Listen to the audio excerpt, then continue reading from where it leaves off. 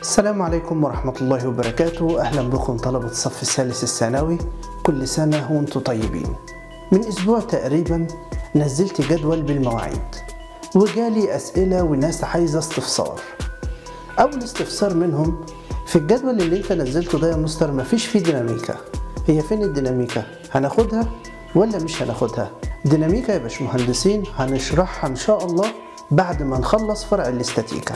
تاني استفسار هو ليه ما بنخليش أربع أيام في الأسبوع؟ ناخد أربع أيام في الأسبوع عشان ما تملش مني. تالت تعليق بيقول ده لسه بدري جدا جدا جدا جدا. أنت بادئ من دلوقتي ليه؟ أكيد هيبقى في ملل. أنا بادئ من دلوقتي عشان أنا أقدر أخلص المنهج خلال السنة. إنما لو ابتديت متأخر مش هقدر أخلص المنهج. التعليق اللي بعد كده كان بيقول هو مدة الفيديو قد إيه؟ مدة الفيديو دي أنا ما أقدرش أحددها. ده بيتحدد تبع شرح الدرس. إن شاء الله من يوم السبت الجاي اللي هو 15 6 هنبتدي شرح المنهج وهنبتدي أول حاجة بالتفاضل. التفاضل ده أربع وحدات. الوحدة الأولى الاشتقاق وتطبيقاته. الوحدة دي فيها خمس دروس.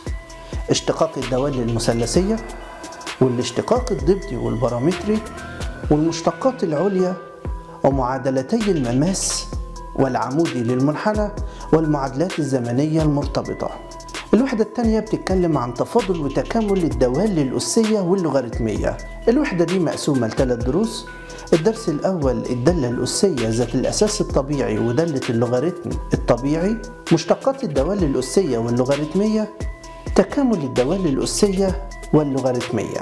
الوحدة الثالثة بتتكلم عن سلوك الدالة ورسم المنحنيات. مقسومة لست دروس. الدرس الأول تزايد وتناقص الدوال. الثاني تحدب المنحنيات ونقط الانقلاب. الثالث القيم العظمى والصغرى المحلية. الرابع رسم المنحنيات. الخامس القيم القصوى للدالة السادس تطبيقات على القيم العظمى والصغرى. الوحدة الرابعة بتتكلم عن التكامل المحدود وتطبيقاته. أول حاجة في الوحدة دي بيشرح لي يعني إيه تفاضلي. الوحدة دي مقسومة لخمس دروس. الدرس الأول طرق التكامل تكامل الدوال المثلثية التكامل المحدود المساحات الحجوم. زي ما أنتم شايفين يا باشمهندسين دول 19 درس. لو خدنا كل درس في حصة يبقى محتاجين 19 أسبوع. يعني خمس شهور تقريبا. يعني تقريبا تخلص على شهر 12 في دروس تقيلة هنضطر ناخد فيها أكتر من حصة. يبقى إحنا هنخلص على شهر واحد. ما تقولش إن كده بدري لإنك لسه عاوز تحل بوكلت كتير وتحل امتحانات كتير جدا وتتدرب على الأسئلة.